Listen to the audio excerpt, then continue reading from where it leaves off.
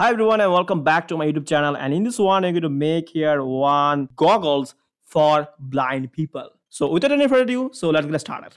So now let's see the circuit architecture. How can we connect the Arduino Uno and the ultrasonic sensor and also the buzzer. So this is our circuit design and you can see here we need one ultrasonic sensor and one simple buzzer and one simple breadboard and also one Arduino Uno. So going to use here the Arduino Uno and if I see the ultrasonic sensor, it have four pin. So first pin is called VCC and second one is the trig pin and third one is called the echo pin and the final one is called the ground pin. So trig pin and the echo pin are working as a sender and the receiver of the ultrasonic sensor. So you need to connect this VCC pin to the 5 volt of the Arduino Uno and the ground to the ground and the echo pin should be go to the 6 number pin of the Arduino Uno and also the trig pin go to the 7 number pin of the Arduino Uno. Then we're going to add here one simple buzzer. So it will actually help us to notify the user that something in front of you, right? That's mean objects. So we are going to add the black one should be the ground and the positive one it actually give here inside one digital input and output pin.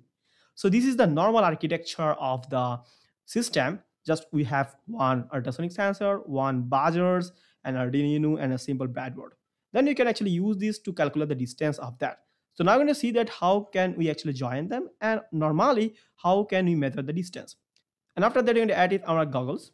So this is the source code for that, just normal, just few lines of code. So let's understand the code. Don't worry, I'll put this code link in the description. You can just go and download the code and upload it inside your Arduino board. See, uh, I declare here three variables. So first one for the trig pin, you can see also see that as a ping pin. Number seven, we need to connect it in the Arduino board. And number six is called echo pin. And number eight is called buzzer, right? Just we're going to add them inside the Arduino board. Then what I'm going to do here, we are going to actually create here one uh, function and it already inside your Arduino board. How in actually making a new file, you get here the setup file and the load file. So inside the setup file, we actually add here the serial.begin because you're going to see that inside our serial monitor. That's mean this is our serial monitor. Then what I'm going to do here, we are going to create here one loop and it already created by Arduino IDE by default. So I'm going to create here new empty file. So then what I'm going to do here, we are going to declare here three variable.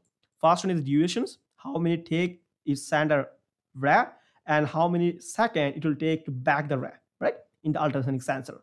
So in the ultrasonic sensor, it have one sender and another one is the receiver. Okay. So durations and the inches and the centimeter. We don't need the inches, but I actually make it here uh, so that we can also calculate it in, in inches, right? So first we need to make the ping pin or you can say the trig pin should be the output because this is the output pin and the input pin is nothing but called the echo pin. That's mean echo pin actually taking the input from the user where the objects is actually get back to the ray. So you take the input and output it will show the ping pin okay? So first time you are going to make the ping pin should be the low and after 2 microsecond you're going to make the ping pin should be high. Now if there are any ray is inside our micro ultrasonic sensor it will actually remove the sensor okay? The sensor value. So that's how you make it. And after that you're going to add here one delay of 10 microsecond. Then we're going to make the ping pin should be the low. And now what we're going to do here you're going to take the input from the users using the echo pin so when one object is near to the ultrasonic sensor, it will actually send back, send here one ray. So it will actually touch the objects and get back to the ultrasonic sensor. Using the trig pin, it will actually cast the duration, it will cast this ray. And after that, you're going to calculate the duration, how many take, how many times it takes when the ray is sent from the echo pin and how many times it will actually get back to the ping pin. So you're going to use here one method that's called a pulse in. So pulse in actually help us to take the duration. That is how many times it will take it. And based on the time, you are going to convert it into the inches and the centimeter. So this is the code for how can you convert it into the inch and also the centimeter. So this is the code for inch and this is the code for centimeter. We just need to divide it inside by 29 cross by 2. This is the formula of that. I'm not going to discuss about that here, right? Then what I'm going to do here, if the centimeter is less than 12 what are you going to do here? You're going to make the buzzer should be high and also you're going to make the buzzer should be low. Then finally what are you going to do here? You're going to just normally print it inside our serial monitor. Okay? So let's try this out here. Just click on this upload button and it will uploading this code inside the board. Let's connect it inside my pin.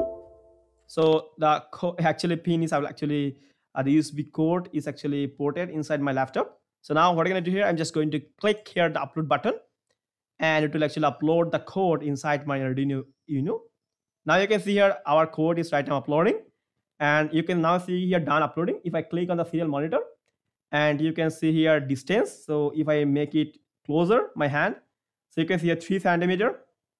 Okay? Okay that's fine really fine. So now let's also test it out here in real times. Let's see so right now you can see here uh, the distance is nothing but 216 centimeter.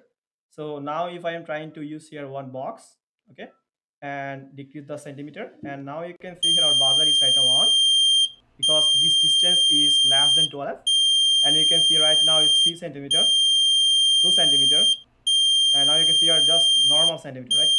You can see here also you can see here the UC okay right? So buzzer is right now on but when I make it closer not closer from the objects? So the buzzer is right now off. So when the person is uh, having some objects okay which one the length or distance is less than 12 so it will actually on the browser. So that's it. Now we're going to add it inside our googles